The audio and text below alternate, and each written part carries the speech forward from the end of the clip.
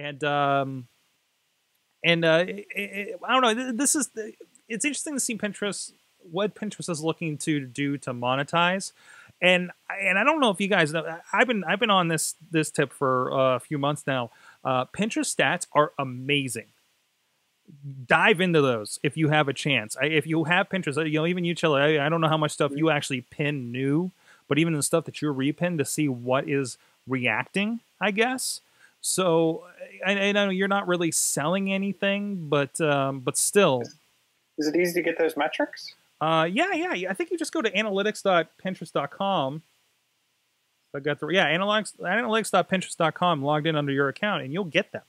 And I'll I'll try to bring them up here. Actually, I don't. I have to log in, so I'm not sure if I can. St- oh, actually, no. Hey, it should be over here. Here, you'll get a, you've got a readout like this, and um, you have your like daily impressions. Like I'm getting 620 daily impressions. Are you kidding me? Like I had no idea I'm getting that kind of response on your email. It's impressions, so it's whatever it is. It tells you what your audience is. It tell you what the the biggest tweet is. Like I know that the John Cena changes uh, wife of the show's uh, you know article that we posted is, is, is getting the most impressions and, and some clicks.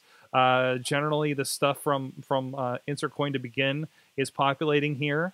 Uh, you know, it, it's it, it, gives me an idea what what is working on Pinterest, and and now with this, I'm kind of looking at getting into this and maybe um, you know opening up specific Pinterest pages for Sorgatron Media, for instance. May maybe not for Wrestling Mayhem show, but maybe for like Indie Mayhem when we're we're talking about the wrestling DVDs. You know, a little more.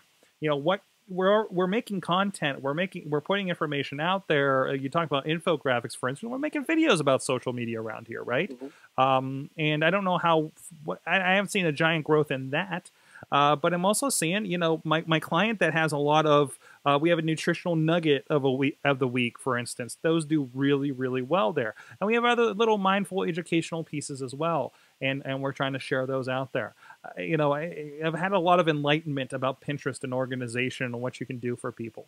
Um, so so follow me on Pinterest and see what happens. I guess. but uh, but but they're there. But the the, the the the guys are there I'm seeing WWE stuff on here. I'm seeing interactions going on there uh, to a certain extent, right? And nothing crazy, but the video game stuff is there. Go look up cosplayers on on Pinterest. Ton of stuff. I, I it gives me like that. Usually, if I'm sharing something visual over the Pinterest that's not something I made, I probably got it from Pinterest. So, and she was actually genuinely surprised how many people had Pinterest pages when they raised their hands. How many guys oh, really? had, had Pinterest pages? I think I think in that crowd, I think if you're talking the social media crowd, we all have Pinterest pages because we're all trying to figure out how we're going to use this thing, right? Mm-hmm. Um, so I, I, don't think well, I think that was a little bit of a skew, but still, uh, there was a, there was a, I didn't get the entire statement, but she said that's the the Pinterest has more men on it than a combination of GQ and like two other magazines combined have readers. Oh, I'm, I'm sure because I mean, it, well, first of all, it's free.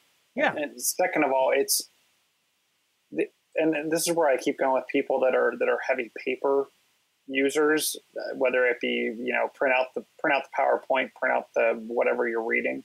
There, there's no index and there's no search capability on a piece of paper. Right. If you handed me a stack of paper and said, count the time, count how many times the word "the" appears in this, it's going to take you quite some time to skim, skim through and probably not get it correct. Whereas Word can quickly count how many times the word the appears across the next 50 pages of document. So I, I think this is where Pinterest definitely serves its purpose. If I want to look for a, a, a black suit or a blue tie, searching those searching that is going to quickly result me in, in, in, in all of the types of clothing that I'm looking for much like Google Photos that is working on too, right? Combine the two of those, and you got quite quite the the picture indexing search engine. Mm-hmm. So so I can definitely see why a, a, lot of males would want to be on there. I, I think. I, And I think I want to get more deep into some Pinterest ideas and everything too. Um, but uh, uh, as we get into basic ergonomics, I kind of want to move on here because we're already kind of running late. But I, do want to mention, and this I think I'll also dive, dive in a little deeper too. Um, a lot of local Pittsburgh representation. You know, again, Pinterest itself didn't really fit the theme, but I think I don't know if it was part of the last minuteness of of, of the selection. Uh, but they have, I think, nine people presenting under ten minutes. So, something like that, um, including uh, you know somebody representing the the Pittsburgh Marathon.